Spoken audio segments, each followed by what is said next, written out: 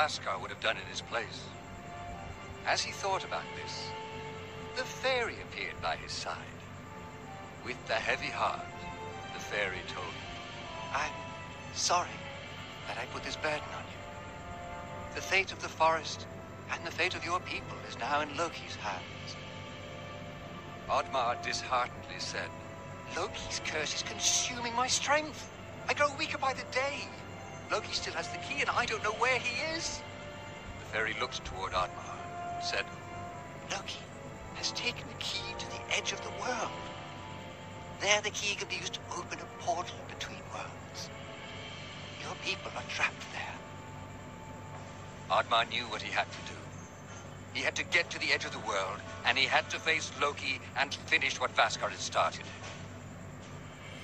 The fairy's magic was fading, and she used the last of her powers to summon a guiding spirit for Oddmar.